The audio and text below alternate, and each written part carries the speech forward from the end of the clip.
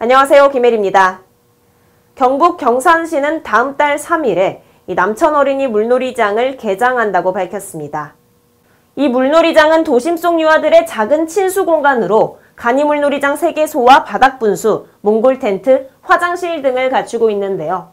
물놀이장은 8월 31일까지 무료로 운영하며 매주 월요일 및 우천시에는 시설 관리 및 운영 효율성을 위해 휴장합니다.